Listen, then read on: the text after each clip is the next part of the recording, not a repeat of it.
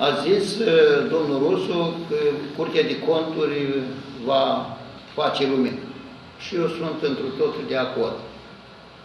Curtea de Conturi a venit, controlează și a încheiat raportul. Dar uh, n-a găsit de reguli care le-a spus domnul Rusu.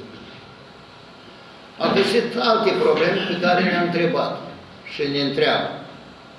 De ce s-a distrus stadionul din Ruibi, din zona din Val? Acest stadion este în domeniul public. Cine l-a distrus și ce măsuri am luat?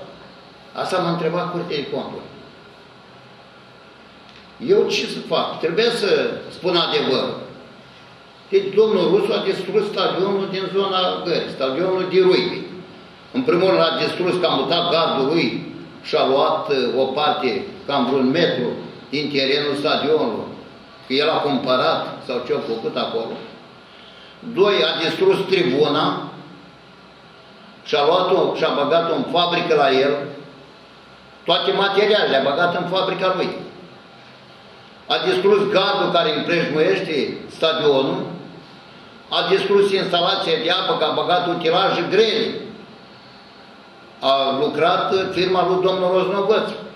Că și poliția nu știe cine a lucrat acolo. Deci domnul Rusu a distrus acel stadion. Eu m-am străduit și l-am făcut cu alți oameni și era un stadion foarte bun și domnul Rusu a venit și l-a distrus. Domnul Rusu are o, eu știu, o idee din asta, că nimeni să nu aibă el să facă. Vedeți, dumneavoastră și acum a distrus echipa de fotbal care este la CFR Pașcani. A dus pe la bătaie cu 12-0 acum la Galați. Domnul Crășinescu l-a pus pe domnul Rusu să distrugă fotbalul și sportul pășcănean. Sunt alte interese la mijloc cu acel stadion acolo. Și de asta vrea să distrugă domnul Rusu totul. I-am spus în ședința de Consiliul cu domnul Crășinescu, domnule, schimbă-l pe domnul Rusu, cine l-a pus? Că nu l-a aprobat Consiliul Local să-l pui să răspundă de echipa de fotbal. A strâns din numere și a rămas așa. Acum, în prima ședință, să vedem, poate facem o ședință extraordinară, să vedem ce facem. Că nu se poate să distrugă echipa de fotbal. Și aș ruga, eu știu, amatorii, microbiștii de fotbal, nu ia nicio poziție, văd. Trebuie să luăm poziții tot, nu putem să lăsăm să distrugem o echipă de fotbal, care e de ani și ani, una dintre cele mai vechi echipe de fotbal ale, din, din țară. Și noi stăm și lăsăm pe domnul Rusu să distrugă tot. În urma distrugerii stadionului, noi am luat și am făcut un raport de evaluare a fagubilor. Din oameni autorizați tot, valoarea pagubelor se ridică peste 6 miliarde și 500.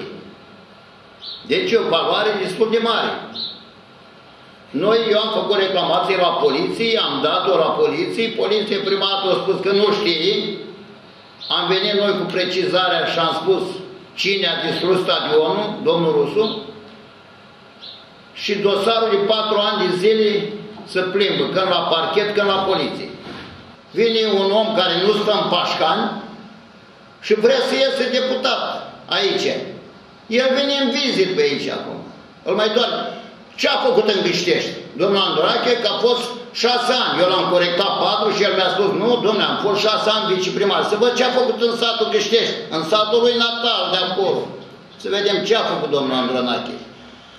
Eu l-aș mai întreba pe domnul Andronache cum recuperează oamenii banii care i-a cheltuit în momentul când s-au mutat în apartamentele care dânsul le-a predat.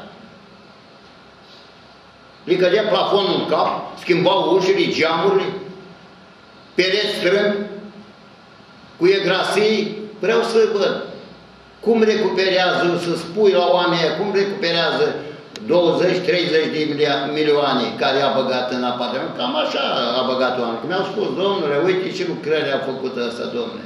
De asta la București nici nu vrea să mai dea bani pentru locuință la Pașcan, că spunea că nu face lucrări de calitate.